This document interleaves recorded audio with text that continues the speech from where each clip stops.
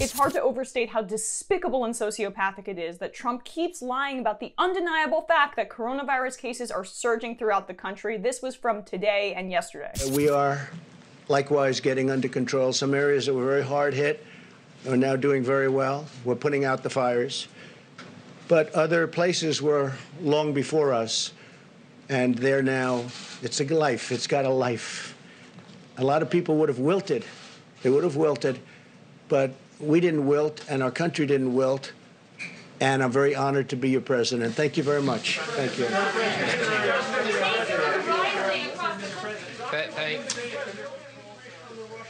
We're headed back in a very strong fashion with a V, and I think we're going to be very good with the coronavirus. I think that at some point uh, that's going to sort of just disappear, I hope. You still believe so? Disappear? Well, I do. I do. Yeah, sure, at some point. And I think we're going to have a vaccine very soon, too. Trump saying it's going to disappear. February 27th, Trump said, quote, it's going to disappear. It's going to disappear in the summer. It's July 2nd. Independence Day is coming up. Has it disappeared? Has it disappeared? This is just a new level because his the sycophantic Republican governors like DeSantis, they would listen to you if you were more forthright about the risks, but that gets in the way of his Trump incorporated marketing campaign. I mean, reelection bid.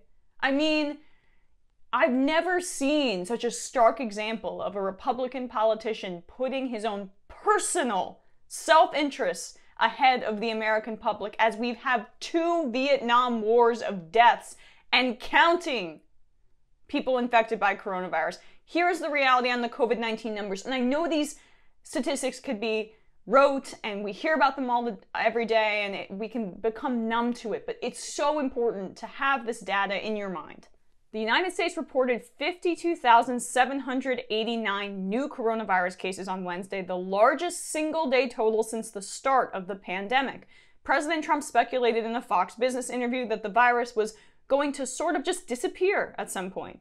Experts say that is unlikely unless an overwhelming majority of people are infected and develop immunity, which could lead to millions of deaths or through the successful development and deployment of a vaccine, there is a chance the coronavirus will never go away, some experts have warned. Most health officials, including Dr. Anthony Fauci in earlier testimony, said the virus has killed more people than official death totals indicate. Most deaths worldwide have occurred among people older than 50, and those with underlying health problems, as they are often most vulnerable to respiratory disease. However, cases are showing up in younger people as restrictions on staying home are lifted. Researchers ha- have also linked the disease to a mysterious and deadly inflammatory syndrome in hundreds of US children, an indication that much is still unknown about the virus and the way it affects different people.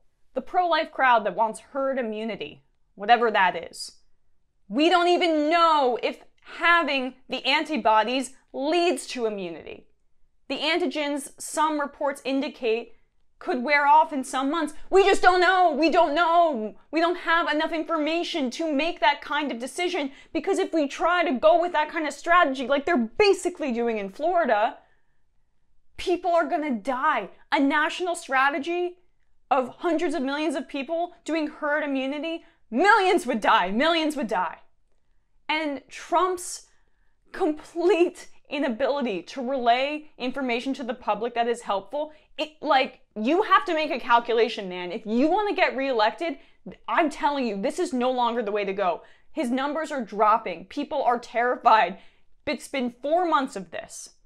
And, and, and Trump has continued to try to downplay the virus from that quote I read back in February where he said it would just disappear to now in July he's saying it's just going to disappear. That people can see through that. It's not working anymore. So from a purely selfish perspective, just do the right thing cuz then maybe you have a shot here. But I'm thinking about it from a relaying information to MAGA heads so they don't get the virus, die themselves, spread it to other people. He needs to just step up. It's not going to happen.